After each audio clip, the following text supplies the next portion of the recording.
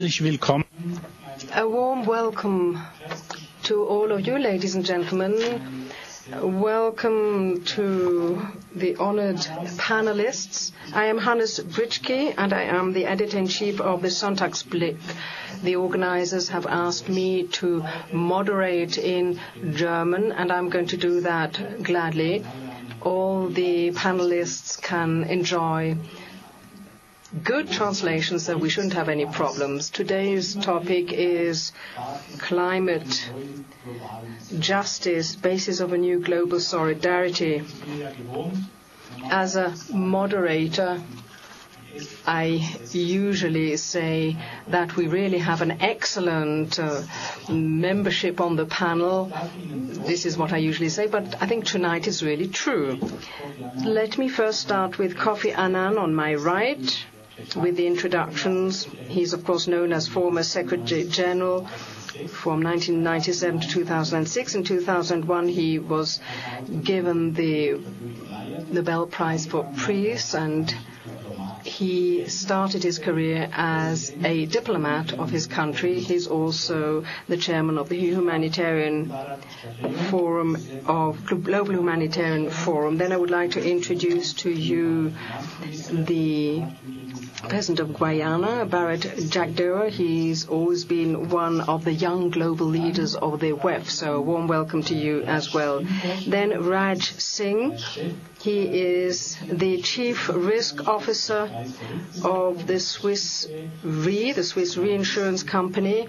You know that this is the world-leading reinsurance company. And just on the side, let me also say that the company started its operations in 1863 with a big fire in the canton of Glarus. Then Ajit Galup Chand, who is Chairman and Managing Director of the Hindustan Construction Company in India. And I'm very pleased also to introduce to you Howard B. Dean III, who is or used to be the leader of the Democrats in the United States. He was also part of the presidential campaign, and I'm sure that he's very pleased now to see the new president in the White House. So a warm welcome to you as well. Anyway, a big round of applause to all the panelists this evening.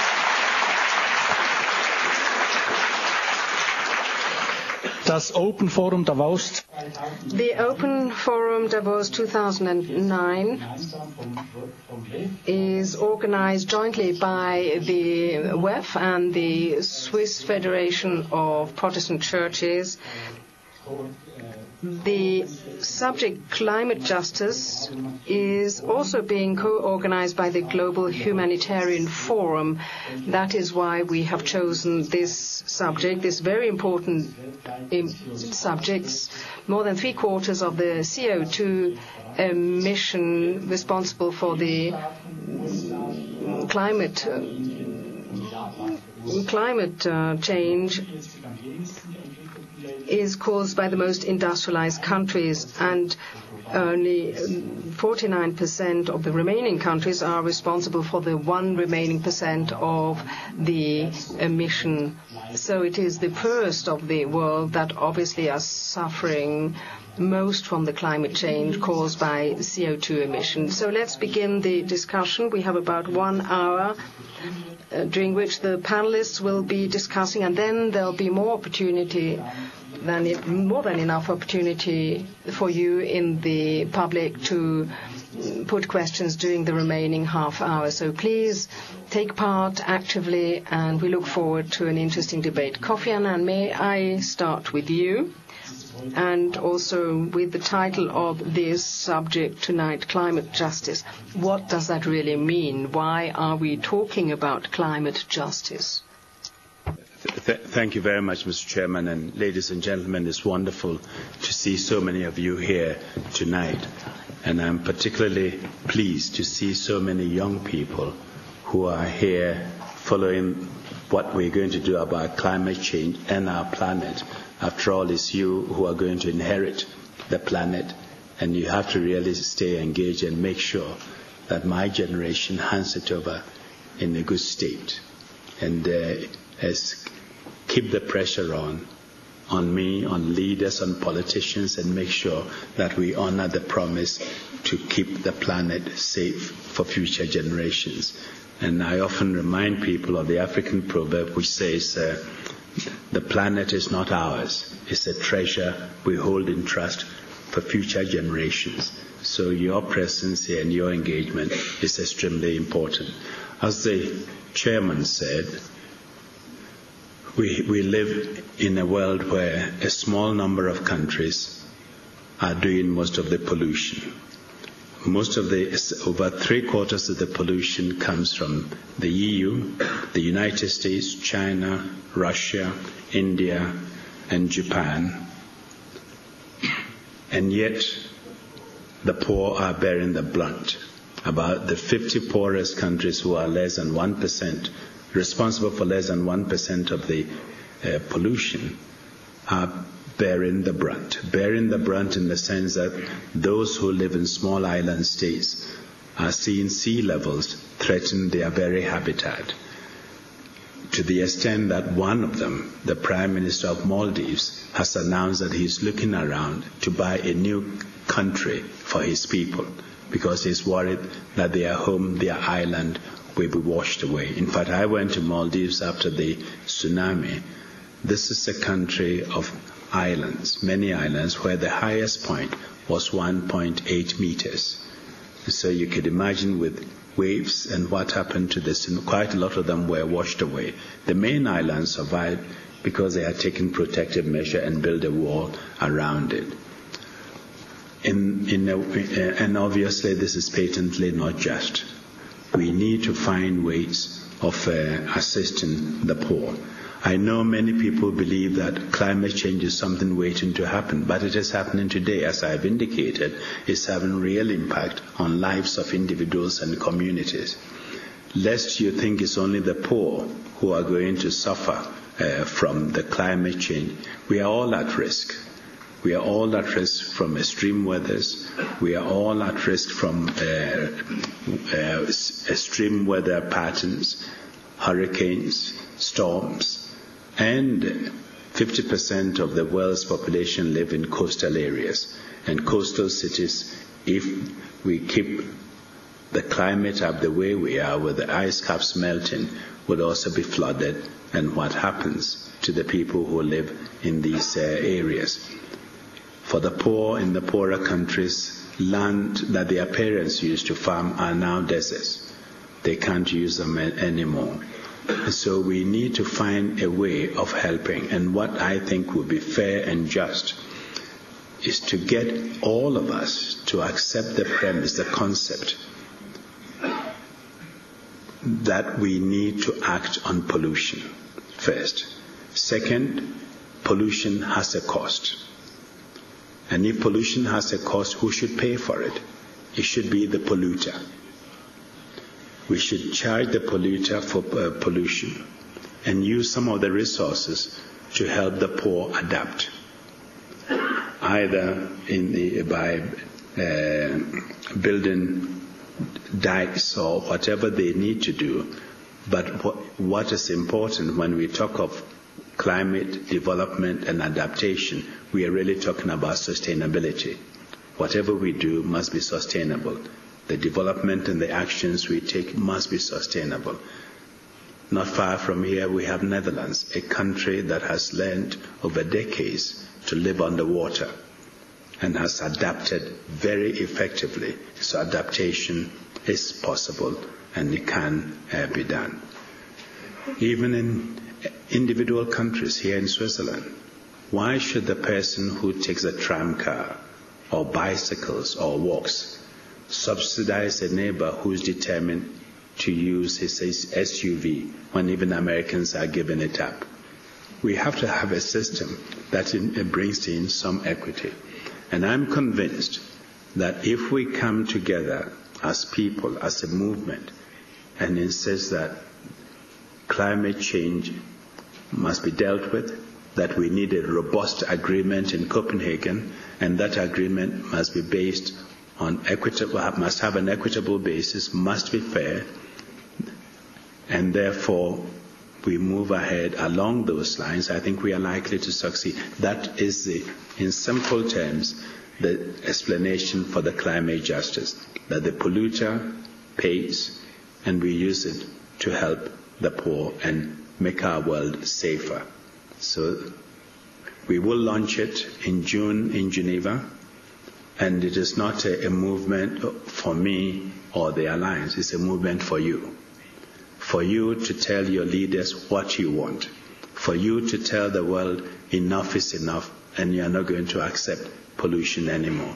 And to tell them that we are going to remain engaged, we are going to monitor them, and we'll be keeping an eye on them in Copenhagen. And they have to come out of Copenhagen with a robust, enforceable, healthy agreement. And this is what the peoples of the world want. So join the movement and let's maintain the pressure. Thank you.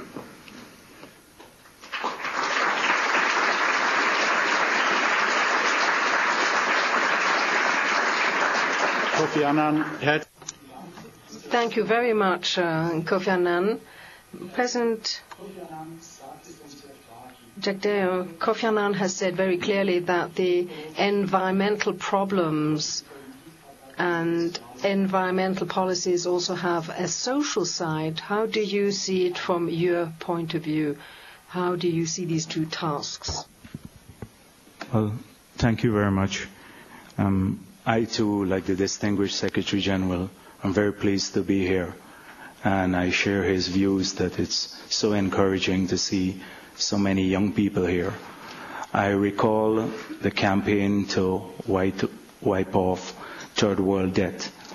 And the only time it got traction, the only time it got on the agenda of the G7 was when ordinary people got involved, particularly the churches. I remember a campaign that started in the UK by the church people called Jubilee 2000, and that made a great difference to debt relief for the developing world at the bilateral level and at the multilateral level. I think gatherings such as the, this one that we have here today can lend impetus to us having an agreement, a balanced agreement in Copenhagen that looks to the needs of the developed world as well as the developing world. Those countries that have faced the brunt of the impact of climate change um, and who've contributed so little to climate change. Sometimes it's not understand the magnitude of resources that would take for these countries to adapt to climate change. Take, for example, the whole Kyoto Protocol has $400 million for adaptation. I have worked with McKinsey and Company in my country because we live, we're a country the size of United Kingdom, but most of us live on a narrow coastal belt which is below sea level.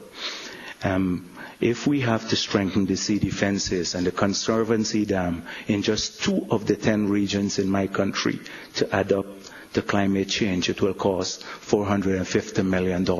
And the Kyoto Protocol has $400 million for the adaptation in the whole world. So clearly, we need to scale up the resources. We've had catastrophic flooding, and I've seen the changes. We used to have, on average, seven inches of rainfall in one month. Now I get 10 inches in one night. Water accumulates. Large numbers of people there. And this story can be replicated and told right across the developing world and the consequences that you spoke about for people and their livelihoods. And these countries have very little resources to meet those funds. Many of them still run budget deficits, still have the challenge of meeting education and health needs because they're unmet. Um, they still have the challenge of creating jobs for their people. And then they simply don't have resources to divert to address the issue of adaptation for climate change. I feel it's, it's a question of perspective and one of will. Take, for example, we've all seen the recent global financial crisis. We feel the consequences of this crisis. By the end of it, the world would spend some $8 trillion on dealing with this crisis. All that is needed eh, to, to avoid climate change is a fraction of that sum. The arguments that they use in spending this money is that there are institutions that are too big to fail.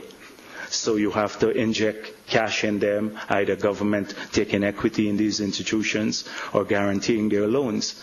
So if the institutions are too big to fail and it will cause catastrophe, just think how worse if the world were to fail. And the world will fail if we practice business as usual.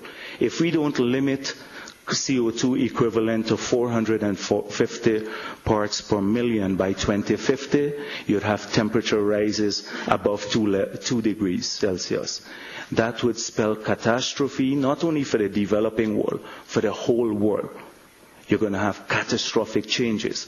So what we're talking about is saving the world here. There, we spend 8 billion to save institutions because of the systemic impact, and we lose sight of the bigger challenge.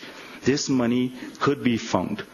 We spent close to seven, you would spend 7% of GDP, global GDP, if the price of oil is $150 per barrel.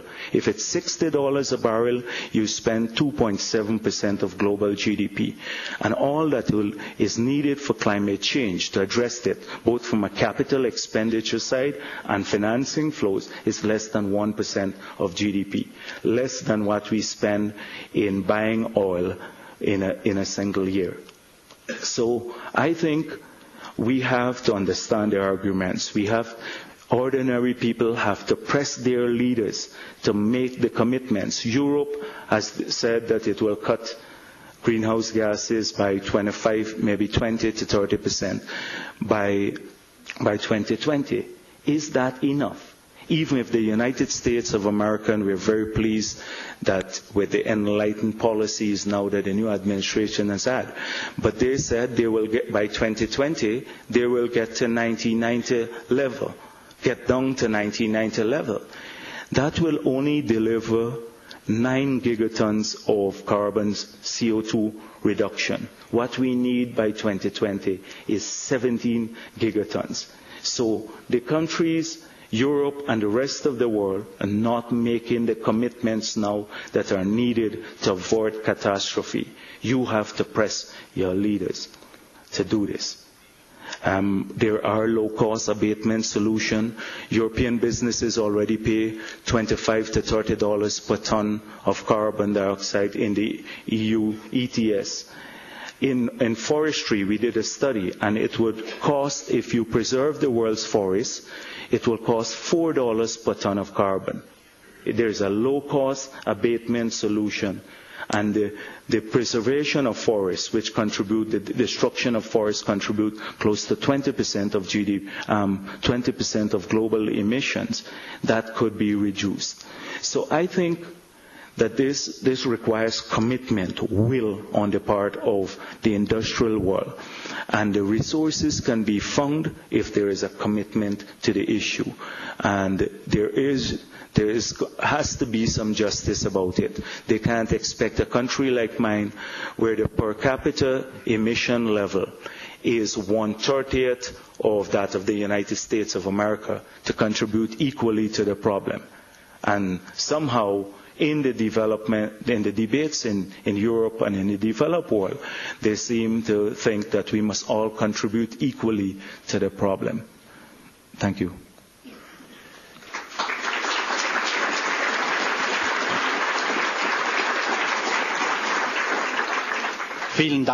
Thank you ever so much. Howard Dean, I, let's assume that it's not so easy to be here as the representative of the United States and take part in such discussions, knowing that for years your country has not signed the Kyoto Protocol.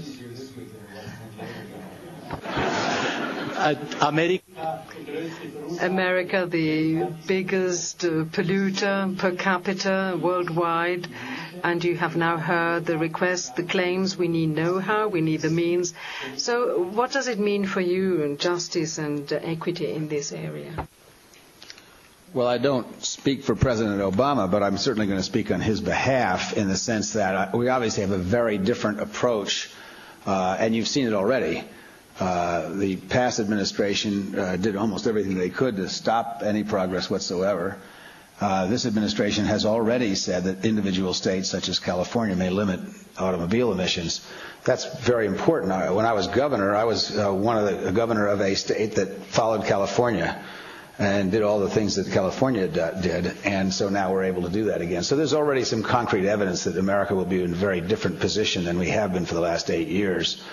Um, let me just make a couple of points because I think the Secretary General and the President have already said, laid out the case very clearly. So I'll say a few things. First, um, with great respect for Secretary General and Nobel laureate uh, Kofi Annan, I think someone needs to make the moral case, but I don't think the moral case is going to move the world. I think that you have to make also an economic case. And the economic case is very clear. Human beings are not so good at thinking long term. And we often find short term excuses to do things that we, if we don't do long term, we're going to suffer greatly. Um, uh, this financial crisis that we're in, uh, partly it's bad leadership in the banks, especially in the United States, although European banks weren't happy to take this stuff too. But a lot of it is the behavior of consumers, particularly in America, who lived off savings and, uh, excuse me, there were no such thing as savings in America, uh, who lived off the equity in their house for many, many years. So if you live, if you spend more than you make for many, many years, eventually you have to pay the bill, and now we have to pay the bill. Well, the same thing will happen in global warming, but the bill is, bill is much more serious. Instead of uh, some very difficult financial times, the bill is your life and your country, and in some cases, the whole country. So this is a not only just a moral problem, it's an economic problem.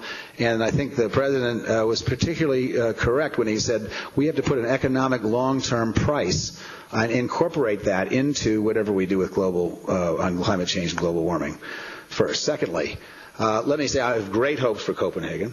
Uh, and I completely agree with the president of Guyana because I believe that we cannot reasonably. Uh, there are three, or, or, I guess there are three countries or four countries represented up here. A European country, and there's no question that the Europeans are leading uh, the way in this issue. Uh, uh India, a very fast developing country. Guyana, a, uh, a, poor country, but one that is also would like to do some developing. And then the United States, probably as, as the moderator so delicately put it, the biggest villain uh, in this story. So let me agree with the president. Everybody has to contribute, but not everybody has to contribute equally. And we should make Kyoto and Copenhagen uh, successful by insisting that the BRIC countries, uh, uh, also Brazil, uh, Russia, India, and China contribute something, which they were not required to do in, the, in Kyoto, but that the United States and Europe should contribute more. Because it is true that India and China, India, by the time we get there, and China already is actually polluters on the scale of the United States, but we have the largest per capita ability to lower our pollution levels because we pollute more than anybody else. The Europeans have recognized that. Under the old administration in the United States, we refused to recognize it. Now I think you will see a recognition of this. But everybody must be included. There is no country that should be exempt from doing something. And that is a very important part of moving uh, this forward. Uh, secondly, um, and I, oh, I, rarely disagree with what the Europeans are doing because the Europeans in general are far more progressive than than American uh, America is as a country. But I think I am skeptical about uh, carbon uh, ta- carbon uh, offsets. I, I see the day someday when Bernie Madoff or his successor will get a hold of carbon offsets and collect a lot of money for something that doesn't exist.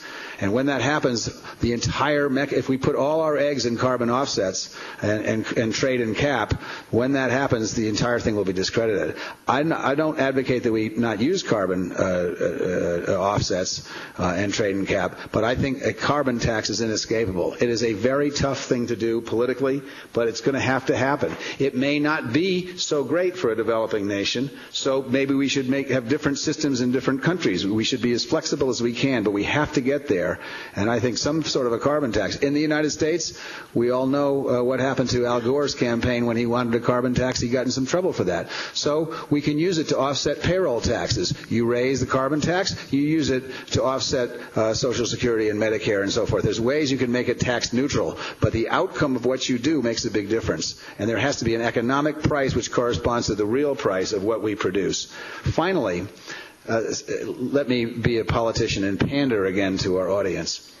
I believe as a result of the American economic weakness and as a result of the financial catastrophe that the United States started, that a huge shift has taken place. The influence in, uh, among uh, the world financial community from Russia and from the United States has gone down. Us, because we began serious problems, and our financial system is in more trouble than most of yours. Russia, because they have backslid from the rule of law, which is, and of course, oil has gone from $150 to 100 to $50. Uh, and we have less influence now.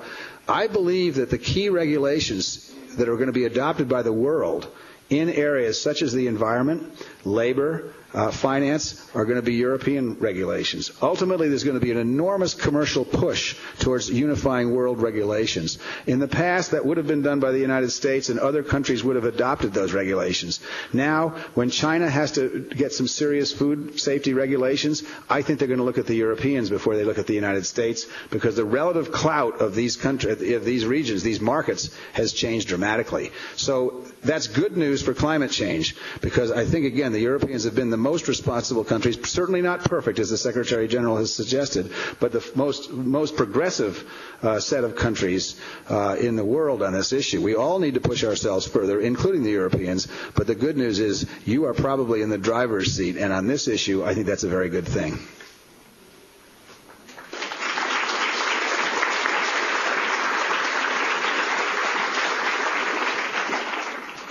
Ajit Gulabchand. Ajit Gulabchand. The BRIC countries have not yet been obliged to assume any responsibility under the Kyoto Protocol. That was the application of the principle of justice. But Howard Dean has just said that uh, in Copenhagen this will no longer run. Also, the emerging countries, the threshold countries, including China, will have to make their contribution. What is your stand on that? How do you see that the contribution of the emerging countries and the threshold countries? This is going to be decided in Copenhagen at the meeting in December this year. Well, I have one privilege that I do not have to speak for any government. Oh, I speak as an Indian citizen and a corporate citizen as well that is concerned uh, and would like to do some everything that is possible about climate change. Well, this year what we are seeing is uh, one of the the good things that has come out of a serious financial crisis and an economic downturn is that there will be less production and there's going to be a little less pollution during the whole year. It'll be short-lived, but it has done its little bit of good to the environment. The second good news, which is a little more long-term and far more important, is that America is back and backing environmental improvements and backing the policy of, of recognizing climate change. And I think that is a great news. The question that has been posed to me, and it's rightly so, that that when we look at the developed and the developing world or the industrial world and the one that is industrializing, we must recognize the aspirations of the people that have not yet been in a developed country. The ultimate aim of these countries is to finally, its peoples must live like the way the developed countries' peoples live. And television has delivered the story more than anybody else to them. Look at how the better half of the world lives. And we want to live like that. Now this, whilst it, it is a wonderful aspiration, does mean that it is going to lead to more pollution. And this pollution that it is going to lead to needs to be addressed in the interest of those countries as well. However, the debate so far has been excessively um, putting the blame where it should be. Who should be blamed for causing this pollution just because money now has to be spent to clean up the, clean up the world's environment? Even if that be so, I think we should move on from that debate as to who's caused it, but move on to the idea of saying, how are we going to get rid of it, and how are we going to share this? There are different, even in the case of developing countries, the countries like India and China, which are progressing at a very rapid rate, and therefore joining the ranks of the big polluters very fast. Not on a per capita basis, but certainly on a total basis. As there are other countries that have still remained behind, have to still come into the full developing of the process of being a developing country. And they too, if you scratch anybody down there, however poor he is or she is, her aspiration is to finally live in a home that, that even a simple American lives, grand homes. So with this in question, we need to look at how are we going to achieve this. And for this, while debates and discussions have taken place, what I find is that there has not been sufficient awareness created in those countries. We, for example, most of our companies want to look at pollution, want environmental controls. In fact, today now, when this movement began of green buildings, we, are, we were discussing just about eight, ten years ago, we now have a billion square feet of buildings that are green. So this movement is catching with, with the industrialized part of the country. However, there's a large population that is still not convinced because their concerns are getting rid of poverty. Poverty itself is a great polluter. Because of that, our forests are being denuded on one side. Our forests are also bringing firewood, which is causing further pollution. The slums in which most people live in are such hell that just getting out of them is a bigger priority. So aligning the, the priorities of the poor, of coming out of their poverty on one side, of the middle classes that would like to see the prosperity of the West in their lives, aligning those to the needs of climate change, I think is going to be the biggest political task that politicians in those countries, and I would urge politicians around the world from the Western countries who are who would like to have the cooperation of the developing world must also take the pains to go out and campaign for. So in this context, because there are some anomalies here. For example, you have Norway, which is which is one of the cleanest countries, least pollutants. But the fact is they're using hydropower for their electricity, but, but they, they ship the oil out to other countries. And so the pollution is happening somewhere else as a result of which, which Norway is getting richer. It is not to say that they shouldn't do it, but when we look at the standards, we need to know who is the originator. For example, British Airways causes one of the biggest pollutions in the world because of the amount of fuel, the, the large fleet of British Airways and their, their wonderful connections around the world cause. But is British Airways causing the pollution or is it the people, the, the big uh, NGOs, uh, green NGOs that are traveling on those planes also causing the pollution? To come to discussions like today. to come to discussions like today. So I think these are very complex questions People in countries like ours cannot understand. Are, some of them are not even concerned with them. Others are finding it unfair. And therefore it is finally boiling down to uh, the, the equitable right to pollute. And this equitable right to pollute is now creating this, uh, this kind of problem. So I think we need to get beyond it. All countries, we can't just go on demanding from the West that they should pay. It is also important that those countries, don't they care about their own children? And I think we need to look at it as a composite problem. Yes, equitable share. There's also just one more thing I want to say. If you are going to beat this, the very fact that the present levels of technology are continuing to create this pollution, it is necessary for us to understand the changes in technology, the improvements, the innovation that we are going to require to really beat this is going to be quite enormous. And therefore, it will have to be an innovation that will have to be chased by every bright individual around the world. And for this, we will have to find money. So anybody who is going to find this innovation would look forward to making some money out of it. And if there is no money in it, he's not going to make that innovation. So how are we going to say, take, make this innovation and then distribute it free to the rest of the world. It's not likely to happen. We've got to find out another mechanism of some kind of a common fund that can be created so that the developers and the innovators are not penalized and we get the development and innovation that we require to clean up the world. Well, here are some of the complex issues. I'm not able to put down a positive direction we should take, but I place some of the issues that confront Copenhagen. Thank you.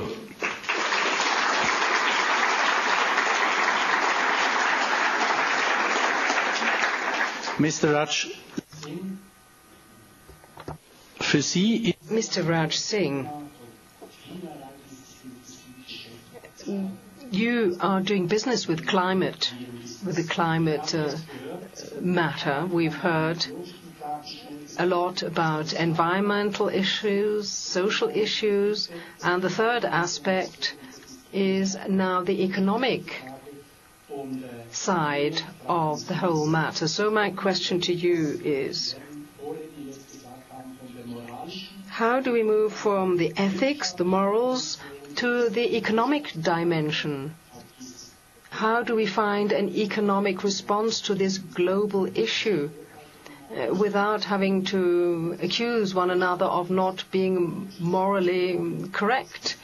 How can we set up a system where we can find some social and economic responses to the issues? In, in, terms of Swiss Re, we have a long obligation, long-standing obligation to climate change because climate change is a core part of our business. Even today, we insure things that are near the water, on the water. So even in that aspect, we're already driving certain behaviors. But I think the key factor that many people have kind of pointed to is the economics. Ultimately, the economics will matter. And economics already matters. And I'll give you just a couple of examples. If you look at the kind of insurance payouts we used to do for storms, it was from the 1970 to the roughly 1990 period, it averaged about $5 billion annually. In 2000, but now it's gone up since in the in the 90s, it's more like 27 billion dollars per year. And this is just insured losses. That doesn't mean uninsured losses. So this is just uh, insured losses paid for in the advanced world.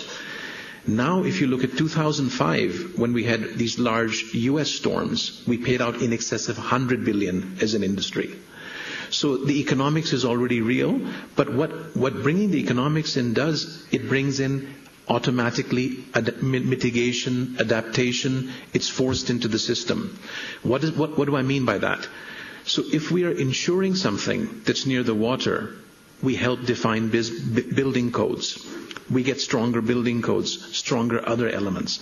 So that's one way the economics is already there. But bringing it to the more emotive side, we're working very hard with the very poor countries. Because when I talk to you about floods in Germany, if you remember, most of you remember the floods in Germany in 2004, the event cost roughly 40 billion.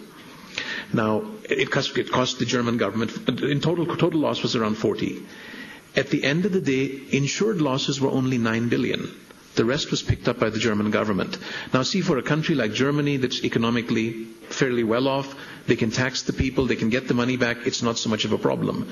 If you just uplift the same thing and put that into a smaller developing country, and you have a large single event, it creates havoc for their treasury. Even to get the aid there in time is not easy.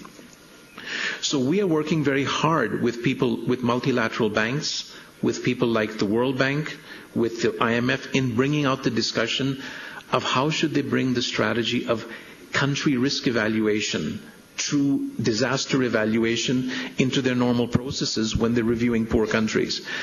But the, the, idea is to at least drive the thought, because also in poor countries, in all of them, it's not very easy to drive the idea of either any kind of insurance type thinking or mitigation or adaptation when people think, well, a big storm, if it doesn't happen in my term, better.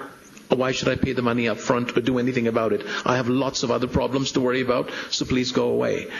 So I think we're driving this discussion, and what's interesting is the discussion is rather successful. And we are having small successes, and I would like to state a few, because the emotive side has already brought 300 people in this room, which is about 300, 400, I could not tell. That's very positive, but we have to make the economics start to work. So what we have done is, for example, and I won't go into the real details of, the transactions, but we're working with the Caribbean countries together, with the Inter-American Development Bank.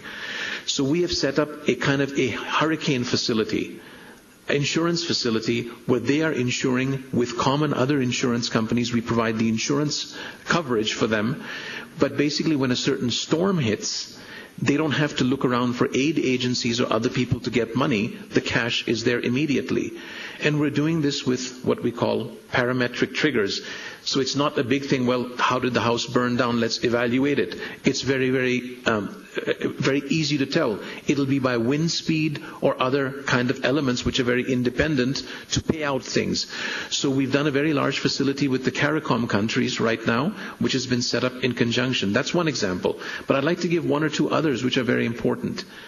In India, we started with a very small program to start to insure farmers from, from extreme weather. That started with roughly, I think, covering 4,000 farmers. Today we're covering 350,000 farmers in a region from extreme weather. And if the extreme weather occurs, the worst thing they can have happen is is first thing they lose their crop. The second thing is they have to buy new seed, so they're completely with no money to do anything. So that kind of a facility pays out immediately for them. But the very nice thing about these, these are all small examples. But these small examples are being worked at with public-private partnerships, little money from the governments at times. We are doing this at very, very low cost. But we do want to bring the economics in because we believe if we do this just as a charity, we will never bring the capital discipline into this whole process. So that's just a few examples in terms of what we are doing. But I'd like to more address a little bit more specifically your last part.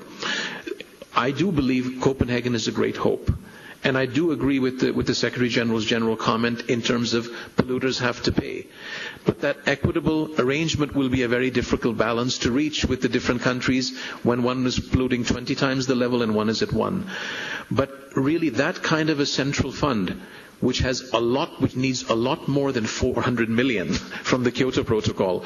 The rough estimates we need are something from 50 to 170 billion Uh, dollars a, a year through to, to 2020 to really pay for this kind of adaptation which is needed. So the fund needs to be pretty significant. So we need to find out how to do that.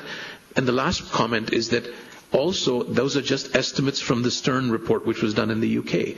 But I think we also need to evaluate is adaptation the only answer, or there's a multitude of answers between mitigation, adaptation, and other elements that need to be balanced while spending the money. Thank you. Co-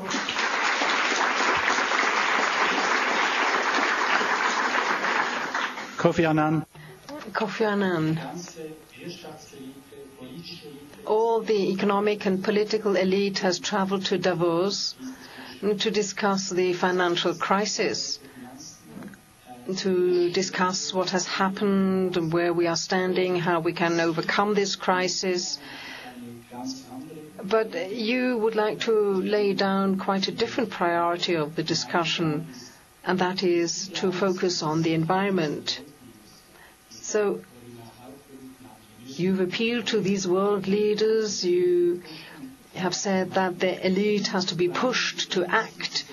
How do you believe that you can get the world leaders to be completely paralyzed by this snake, the financial crisis, but to work on good solutions to be adopted in Copenhagen so that a good replacement of the Kyoto Protocol can be found. There's not much time left. We need to have a new agreement and a good agreement. Thank you for that question. But first of all, let me say that when it comes to the environment, we are all responsible.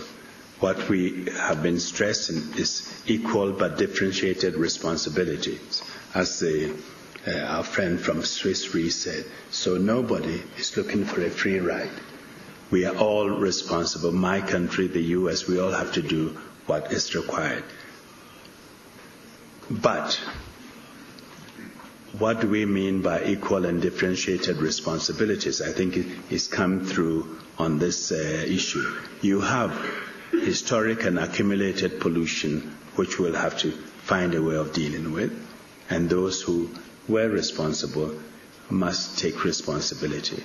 As we, in, and of course, India is polluting, Brazil, my country, Ghana, at varying degrees. We all have to take responsibility to clean up the pollution we are responsible for. And I'm, when I use the word responsibility, I'm talking in terms of duty, duty to clean up what uh, the pollution you are responsible for, not in terms of culpability. I'm not here to lay blame, but to say we do have a responsibility and duty to clean up what we are responsible for. On the issue of uh, the financial crisis, obviously, it's a much wider than the financial crisis. We have serious economic crisis. And the governments and all of us have a responsibility to deal with it. But there are other pressing issues. We have interrelated problems. We have the climate change. We have the question of uh, uh, poverty, energy insecurity. It is extremely difficult to try and set rigid priorities. Yes, the crisis and the financial issue we are dealing with is important and we should deal with it. But how do you tell the billion people who don't have enough to eat today that their problem should wait? Because we are dealing with something which is more pressing. And I think we have the capacity to try and deal with interrelated issues. And so I'm not trying to say just focus on climate change, but I'm saying climate change cannot wait. The, a billion starving people cannot wait. And we have to find a way of, of, dealing with it. And I don't think it's beyond human ingenuity to be able uh, to do that. Uh, and so this is uh, why I'm telling the leaders and others, let's deal with these interrelated issues in a rational uh, manner uh, that will protect our planet. I don't think people will allow governments to go sequentially, and I think I'm sure the governor will agree with, with that, uh, because uh, if we were to do that, you're going to have a very big debate as to how you even reorder your priorities. And, uh, and, and I must say that the discussions we've had here, my sense is that the leaders understand we live in a very different world. I was even pleased to hear some of these big businessmen realizing that they cannot get away from some regulation, some supervision, and in fact it may be in their interest to work with governments to help shape the, the, kind of regulation and supervision required. And honestly, if they don't do it, it will be imposed on them. So we have interrelated issues we should deal with. It's not a one issue world.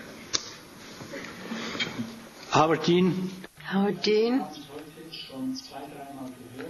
We've heard it several times today, this appeal that all of us can do something, all of us as individuals can do something to change the world, to solve these problems. But let me ask you nonetheless whether with this new president, Barack Obama, who has announced the green revolution in politics, don't you think it's important that there is the top down, the not just preaching, but actually practicing what you're preaching to draw one's attention to the importance of these issues and to bring about this cultural change, a change in mentality. Obviously, there are all sorts of different cultures around the world regarding consumption, goods, and pollution. So there is a need for this change. Yes, and I think the United States has a particular burden. Uh, I think everybody is very excited about President Obama, um, but given the uh, record of the last eight years for the United States, people are going to watch not just what we say, but what we do. Now, the early uh, indications are very good.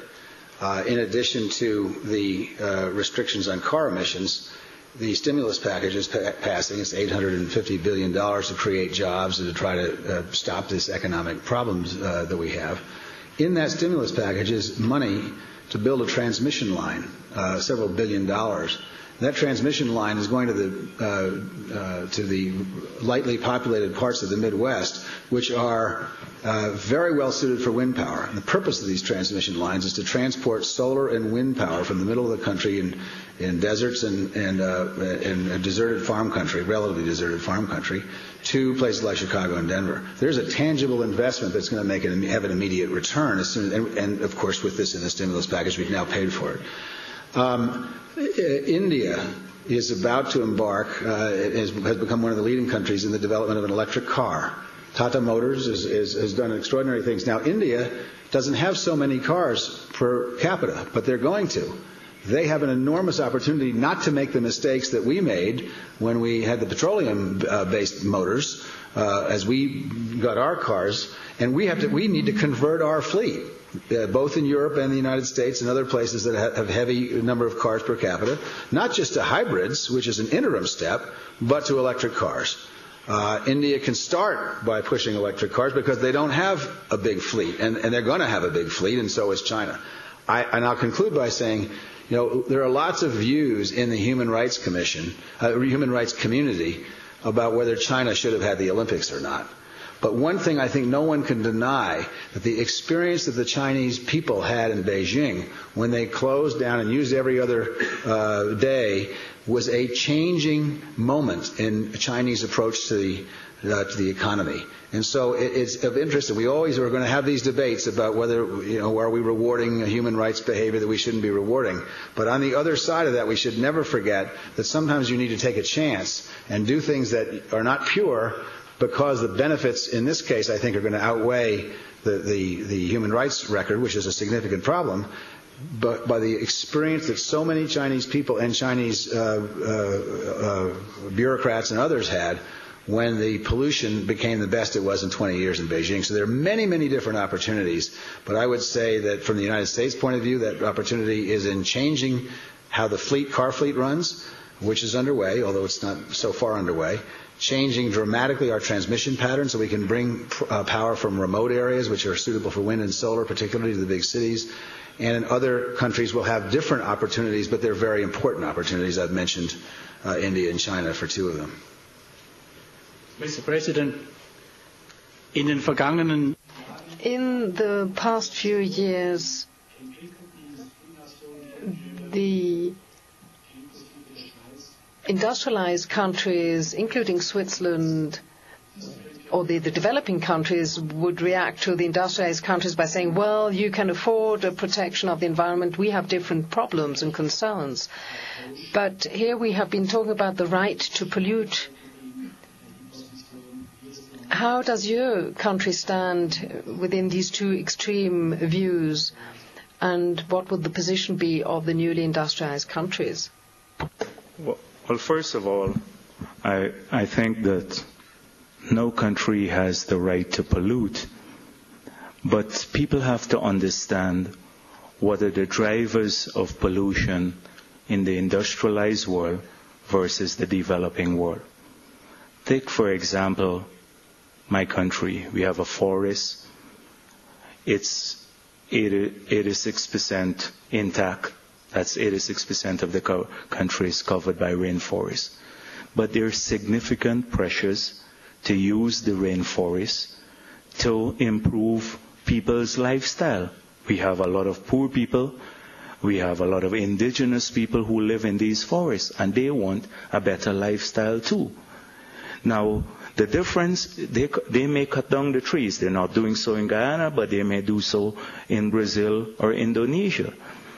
But can we blame them for doing this? They need to earn more. They want a better life for their families. They're doing it because it's existence versus someone driving an SUV and, or, or, or an ordinary car in the developed world. So we have to understand what are the drivers in these countries of deforestation. I believe I can deploy my whole forest in, in service of um, global climate change. That is to prevent pollution. But I have to create alternative lifestyles for my people so they don't put the forest under pressure. And the forests in the world are very, very important to say achieving any targets because as I said before, deforestation contributes 17% of greenhouse gases, almost the same amount of pollution that the US, US has. So we have to get some financial flows to create the alternative lifestyle for these people so they don't cut the trees down. And in calculating what it would take to save a ton of carbon or sequester a ton of carbon in Guyana versus a ton of carbon in Europe, it's $4 versus $30. So economically too, your businesses should want to buy that offset. And I heard um, Mr. Dean speak about his concerns about offset. But I am prepared to allow international supervision, on-ground inspection, and satellite inspection, so you can see if the forest coverage is there. So it's real, it's verifiable.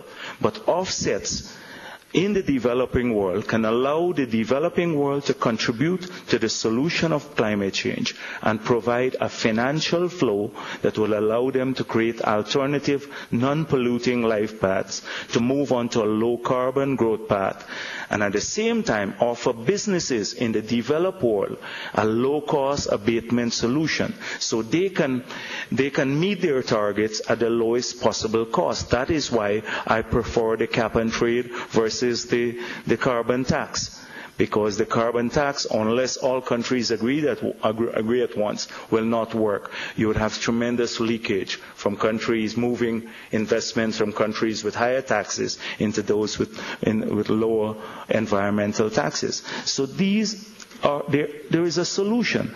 This is not rocket science. Uh, hundreds and thousands, thousands of pages of technical work has been done on how we can use more money to, to move if you look at the McKinsey cost curve that was published Monday, it says if you look at the right side of the equation and the left side of the equation, the cost versus the benefit, they say we can achieve all of this at zero cost to the world zero cost. But, but of course, in the real world, it doesn't work that way. But the, the, savings, the benefits from introduction of new technology, moving technology up the learning curve. So, so a lot of the things that will, will mature in 20 years from now, we should move them early up the learning curve, spend more money on these. And you can have a net situation where it will, and on the whole, it will cost the world very little. I think we have to generate the resources. Let, let me tell, you and if we don't act today, we lose an opportunity. Every year we don't act, we have add five parts per million more to the atmosphere. If, if we don't act today, in the next 10 years, you're going to have 2,000 odd power plants, coal-fired power plants, 500 megawatts coal-fired power plants built around the world, in China and India. Once that, those are built, you have 30 years to deal with the consequences.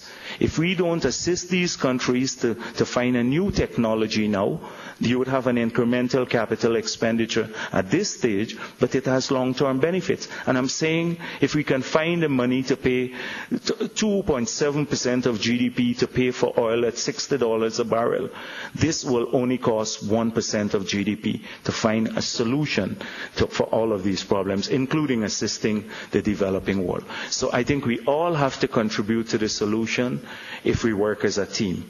And the work has been done, the technical work. It's just an issue of the commitment now. Thank you.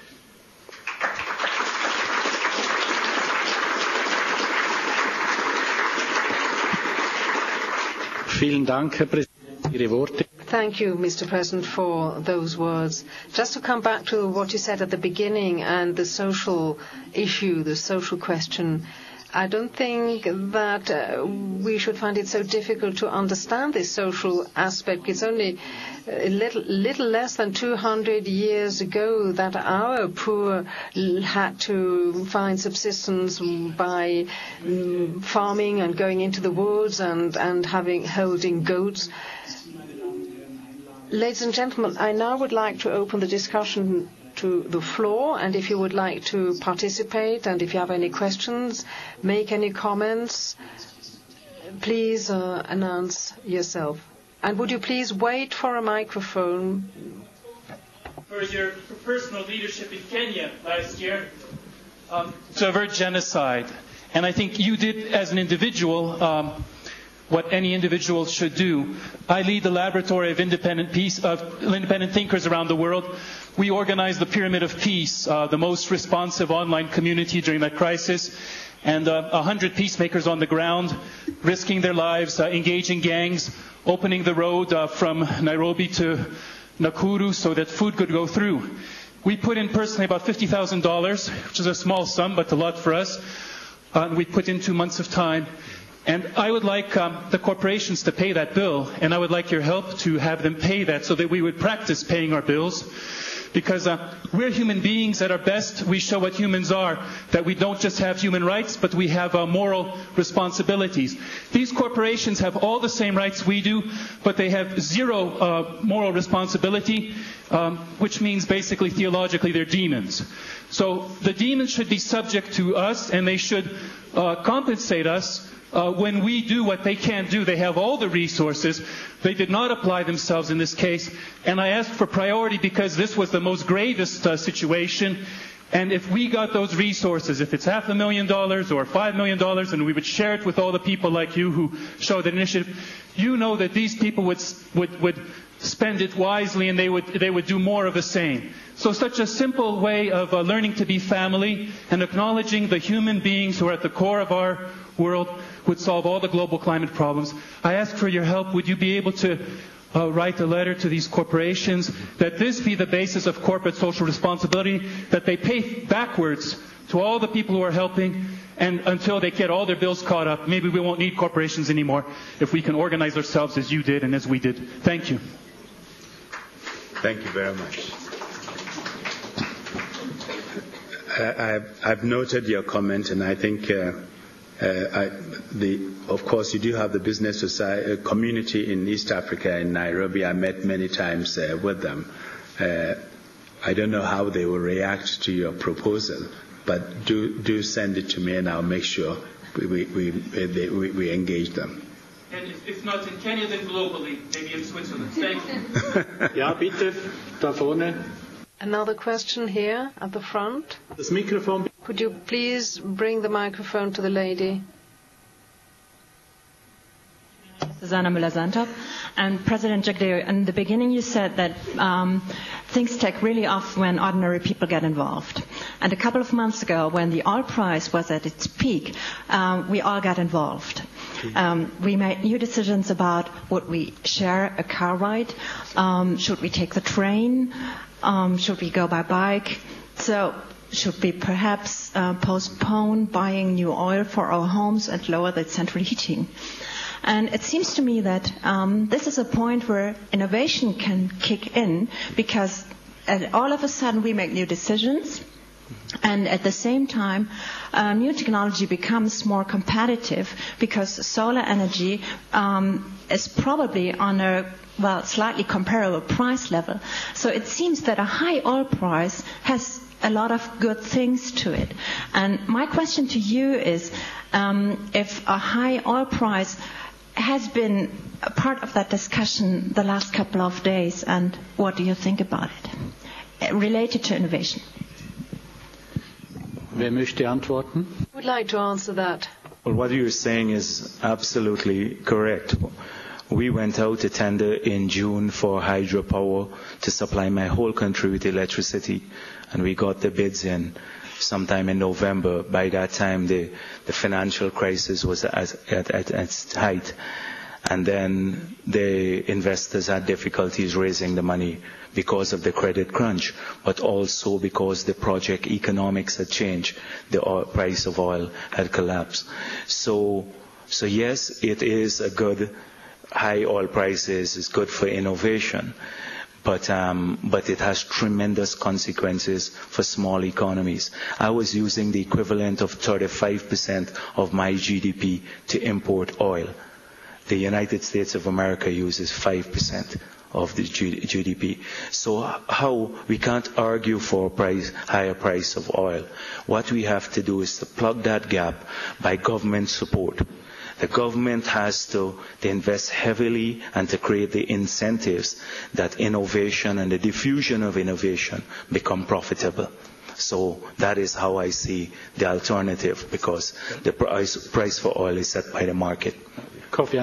No, uh, the, the issue has come up in many of the uh, meetings that I've been in. And obviously, uh, the high oil prices was an incentive for others to really step up research and look for other alternatives. But I would hope, even though the prices have dropped now, we will continue the research and invest much more in new technology and innovation. And there are those who believe that today, if we were to go green and really push for green economy, it will have an impact on jobs, on the economy, in the same manner as the Industrial Revolution had on, on, on our economies. And so we should press ahead with innovation. And I think uh, gov- uh, the Governor, uh, Dean, also made an important point about using technology to leapfrog and avoid some of the mistakes which have been made by others. But that also means, as part of the adaptation technology, we have to make the new technologies also available or at a reasonable cost to the developing countries who can afford it. But I also believe that even governments, through their own policy, can raise money by, from people who use, uh, use energy irresponsibly and perhaps even use the money for additional research. You know, it, it does, we don't have to get the money from high or the incentive from high oil prices. Governments and corporations should do more in terms of research and innovation because the courageous and the bold businessmen who do that are going to reap the benefits 10, 15 years from now, if not sooner. Weitere Fragen? Ja, bitte. Any further questions? Mein Name ist Andrea Müller. I'm called Andrea Müller. I have a, oh, let's say, rather a question. As far as I know, we have more strict environmental standards than other countries, and our companies sometimes simply move to other countries because the, the regulation is less strict there. Can't we perhaps do something about that?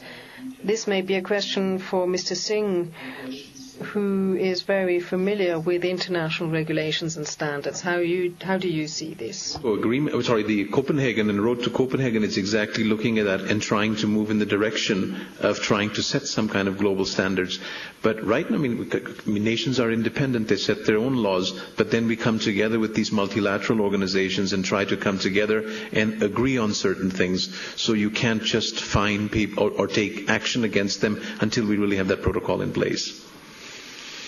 Ich muss jetzt hier Now, I must say something here. Uh, unfortunately, Mr. Howard Dean has to leave us before the end of the discussion, so I'll take this opportunity to give him the floor so that he can give, his, give us his uh, concluding thoughts. He has some other commitments. So before you leave us, is there a concluding message that you'd like to give us? He has a question for me, and then I'll let that be the conclusion. Okay. Also, Fragen. So, is there a question for Mr. Dean at the back of the hall? I have a question which is relevant for Dean and some of the others. We have now a global problem on the climate. We have also a global financial problem. And uh, for the first time, this is really global. Some years ago, there was a proposal having a Tobin tax a tax which would tax excessive financial transactions which were not really necessary. Isn't that a fantastic opportunity now to reintroduce the thinking of the Tobin tax and use that for the climate issue? Because we have to correct the financial issue, we have a solution for the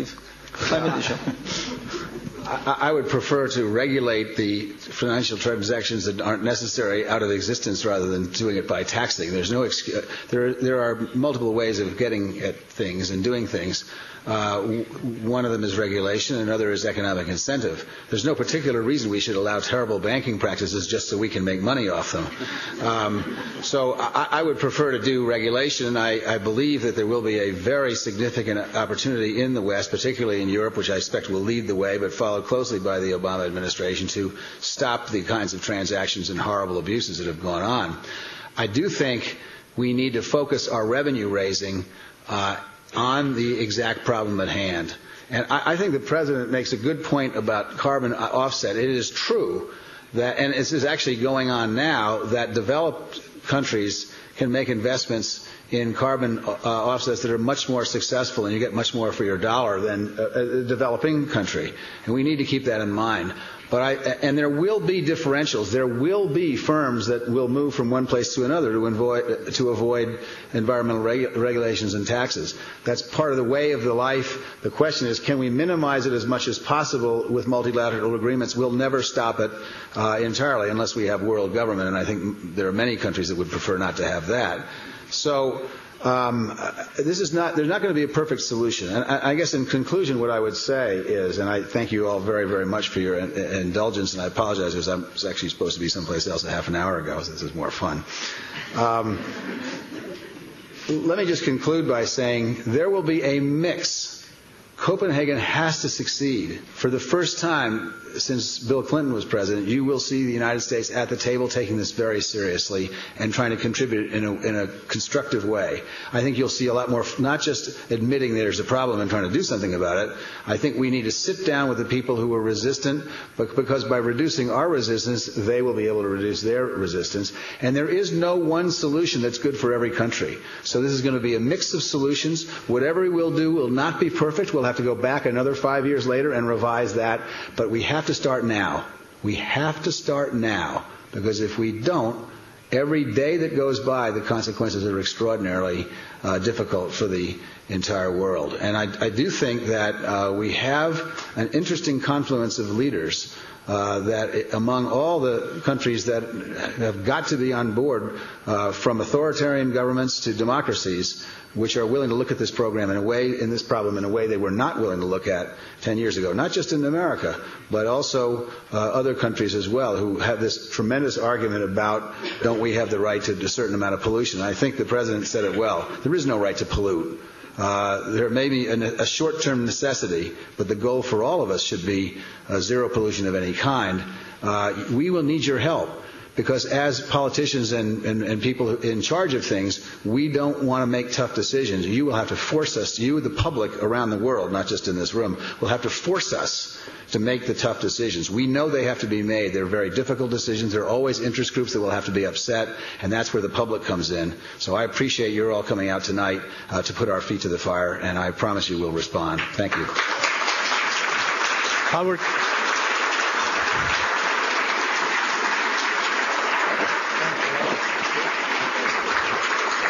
Howard Dean, thank you very much for your words, and uh, we're looking forward to making the American government green and America green.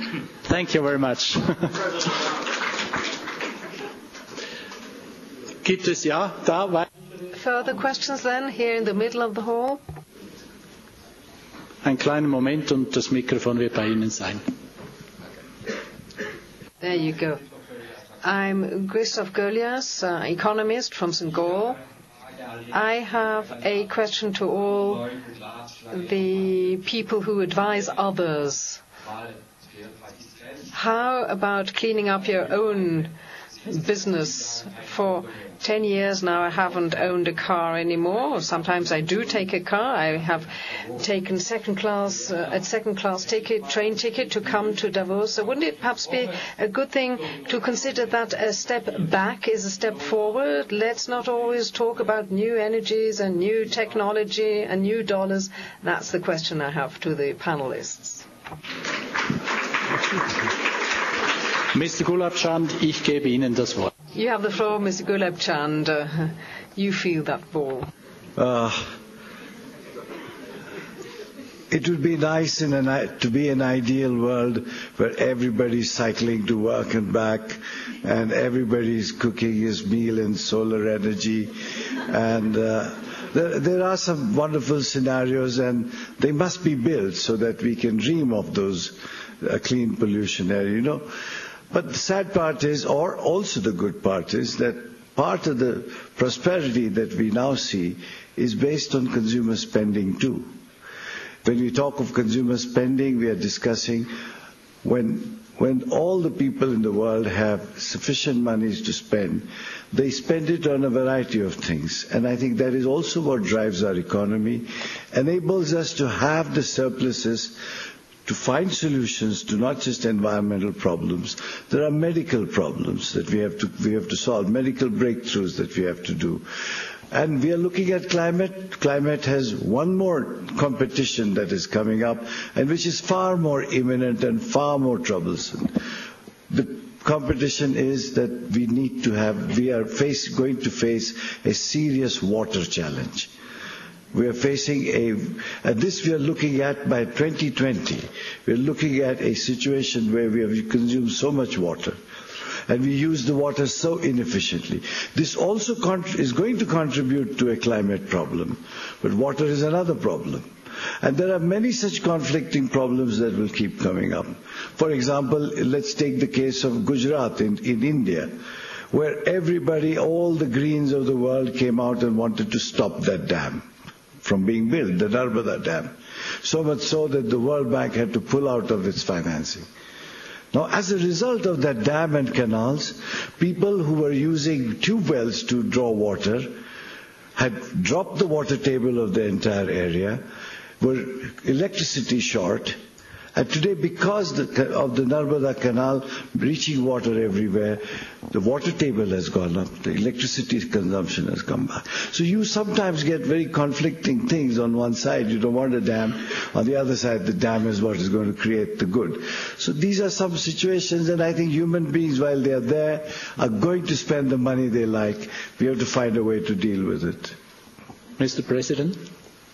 Yeah. Um, maybe if I taken a ship to come to Switzerland, it would probably take two two months to get here.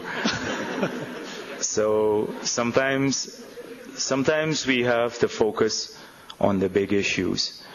There are a few things if we focus on that we can deliver huge results in terms of emission saving.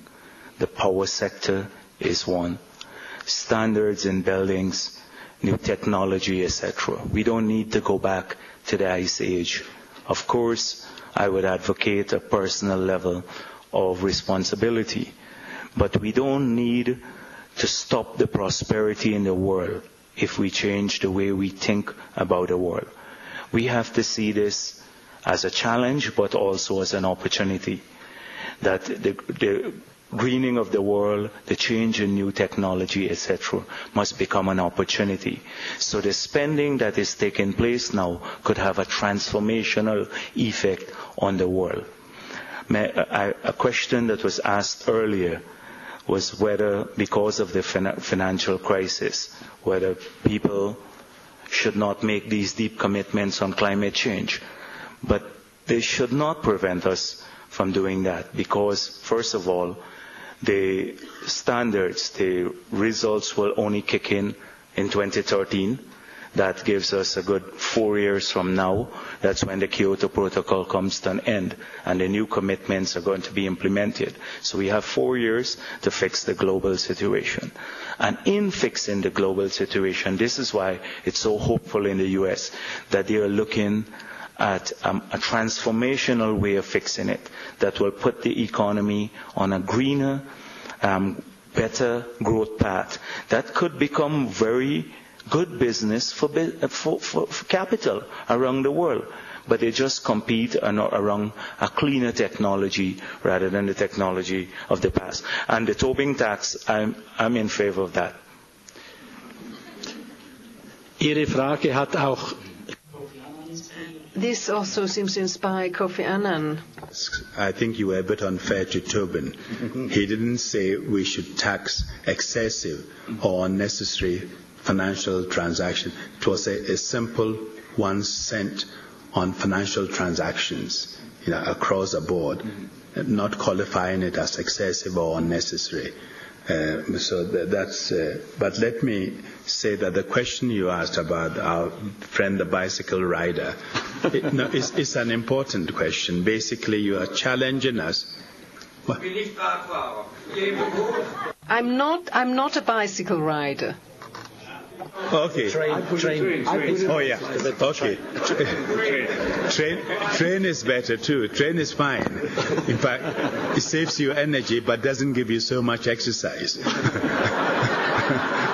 but let, let, let, let, let me say that basically you are saying if we change our own habits and use energy more efficiently and try and make our own individual contributions, collectively we will make a difference. You know, whether it's using uh, environmental bulb in your kitchen, uh, millions doing it, it, it does help. But of course, we also need to look at the way we do things, how we can do things better, how we can do things with less energy, and how we can be green. And that's where the innovation and the technology comes in. But I take your point that we should all be responsible in our individual behaviors. And when you talk of pollution, I mean, I was at a discussion, I think, last year when we had a, forum. Somebody turned to um, Richard Branson and I said, You are polluting by flying all those planes,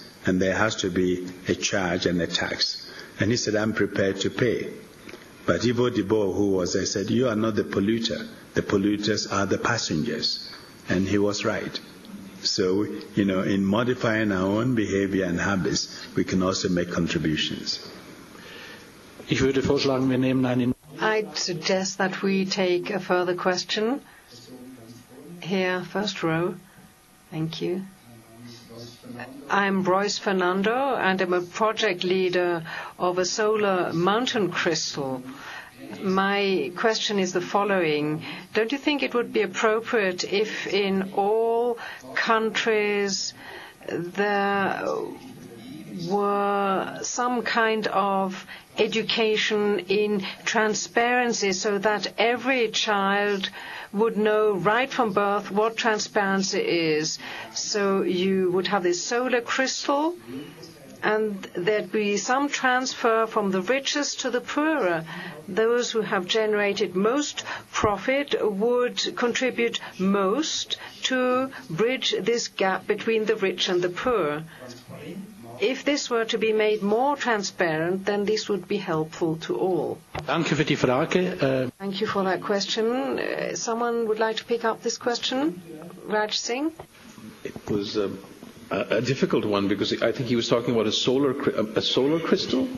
I mean, I'm sorry, I, I didn't get your question very clearly, but if I think I th- if I think I got it, you were saying maybe the children are educated differently, so they think differently, or did I miss the question? I apologize because I was trying to listen hard. So, solar crystal is uh, eine Architektur. It's a type of architecture. It's an architectural configuration.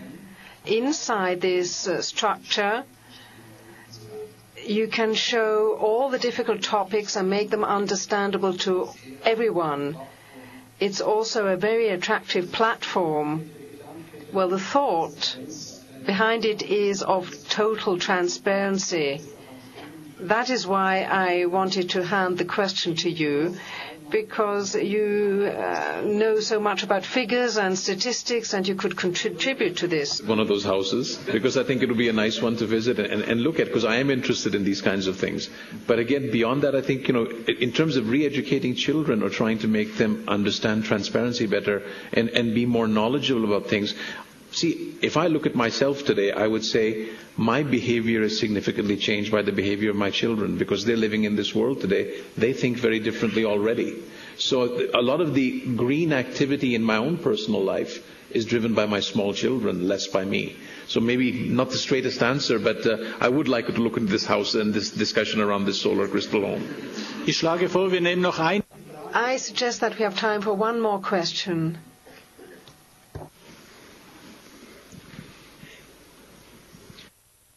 I was a bit surprised by the subject. Global solidarity, a new global solidarity. For me, it's utopian because solidarity doesn't even work on the small scale. You have India where you have billionaires and at the same time people die of hunger every day. And what we've seen in the past few months, mm, since we've had the financial crisis, Mr. President Dare was mentioning the figure of 400 million that would be required to build these conservancy dams. And then the United States is spending 800 billion just to help the banks. So what is really the root of this evil? Is it self um, confidence? Is it self justification? Is it greed? And now those who have caused the whole crisis are trying to offer solutions. Who is going to offer themselves up and say, I was at fault, it's my fault? So are we going to uncover the faults or are we going to um, sweep it under the carpet with the same kind of hypocrisy and therefore allow a demonic world to be created with demonic solidarity? Who would like to respond to that question? I'll say something. Secretary General, you were the diplomat here. Secretary General, yeah. Kofi Annan, ich glaube, es ist die. I think this is your duty, Mr. Kofi Annan. Uh, uh, there are selfish people in this world. There are people who care about nobody but themselves. But you also have many others who have reached out to help others and, and uh, their neighbors. We've gone through a very serious crisis and there's anger, frustration, and fear out there, and I understand that. And I also believe that there's uh, a certain loss of confidence and trust in leaders at all levels. And people simply do not understand how governments can find all the money they have found, the trillions to deal with it. Of course, they would tell you the problems of Wall Street are problems of Main Street, and if you don't have credit in the system, business doesn't work. But the average person who has lost his home, who doesn't have health insurance, who can't pay the child's school fees, and believes that the government did nothing to help him or her, suddenly seeing the government produce trillions, feels they've been cheated and that their, their concerns do not matter. Be as it may, I think you have lots of people around the world, I've traveled the world, who are ready to help others, who are ready to uh, team up with their neighbors and other countries to resolve the problems of the world.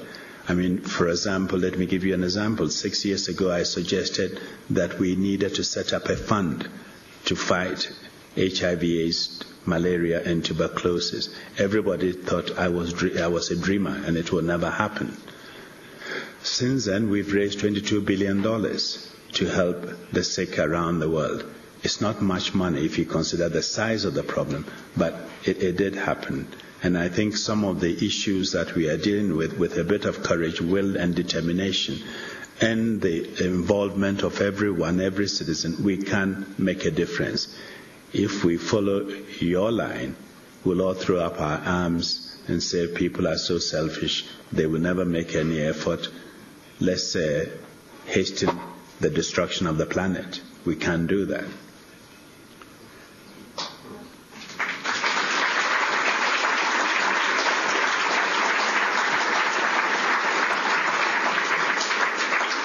Ich denke, das war ein I think that was a very beautiful concluding word. Thank you very much, gentlemen, for your contributions. Thank you to you, ladies and gentlemen, for your patient attention, for the very good questions, and for the commitment that you have shown by coming here tonight. And I do hope that the gentlemen, the panelists, will will not go out and sit in a, to, in a warm limousine and say self-righteous wonderful, this discussion, and then go off to a good dinner. I don't think that the gentlemen here are that kind of people. Anyway, enjoy the rest of the evening. Thank you very much.